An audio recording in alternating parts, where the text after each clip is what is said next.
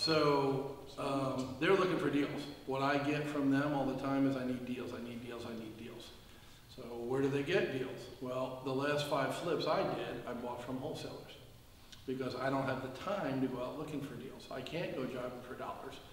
Uh, I'm in the office, I'm tied down, I'm writing checks, I'm, I'm doing paperwork. So I bought from the HomeVestors franchise, uh, Ugly Buys Ugly Houses, my last five houses.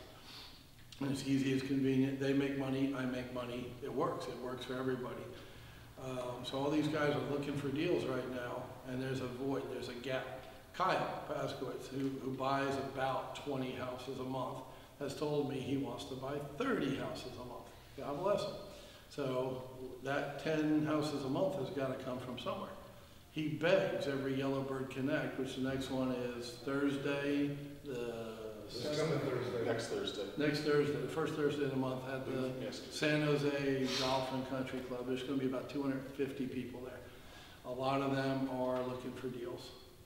So your job as a wholesaler or as, as somebody who wants to be a wholesaler is to find a deal. And the way you learn that is at these meetups. You talk to Chris, ask him where he finds his deals. He puts it out there on Facebook, like Chris, Craigslist, Zillow, and he'll tell you how he finds deals. So you can do the same thing he does to find deals.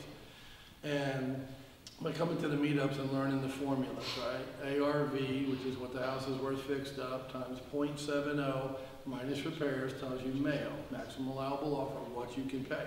When you hear that formula, now you know how your buyer is gonna look at the deal. So you need that education, so when you find a house, you know if it's a house or a deal. Well, these guys who are looking for deals, they're not looking for houses. That's where the most new wholesalers make the mistake. I found a house, I found a house, it's in 08 and it's hundred and twenty thousand dollars. It's worth, uh, ARV is one twenty and, and he needs five grand to work and I'm asking ninety-five. That's a house. Great, you found a house, good for you. It's not a deal. It's not a deal. They can't make money with it. They can't make money with it, they're not gonna buy it. And you don't make any money on an assignment fee. So that's not being a wholesaler, that's just wasting time, theirs and yours. So that's why you have to come and get educated to know what's the deal, what's the deal look like? And that they're gonna apply that formula to it. Then you know if you're, if you're, if you're selling to them at MAO, they'll buy it. Or, and right now they'll do closer than MAO, because the reason you do that 0.7 is that gives the, the uh, flipper twelve to fifteen percent profit. And some guys are working for five percent profit right now because things are tight. It's hard to find deals. So they'll make less money on a deal. I know Kyle said on the panel that he's doing deals for like two grand now. That's wholesaler money. That's wholesale money from back in the day. You know, now wholesalers are making twenty grand when they can find a deal. And back when I was wholesaling, we make two to five grand and we were happy, you know, so to hear a big flipper, a large flipper with deep pockets, say he's making two grand a deal on a flip, five grand a deal on a flip, oh my God. Um, So, uh, here's the good news. The market is like a hot air balloon, all right, and it's going up, and it's been going up for seven years now. So guess what? At some point, the hot air balloon's gotta come down. I talked about this last time I was here. Uh, it's just a universal truth. If the market is cyclical, what goes up must come down. A lot of people have different opinions on when that's gonna happen. I think it's gonna be this year. We'll know in the spring.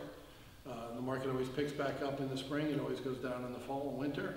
So it's down a little bit now, a little bit, not a lot. And we'll see if it picks up in the spring and summer or not. If we have the same kind of market we had last summer, where things, you know, shot through the roof and we had another great year and a bunch of people made a bunch of money.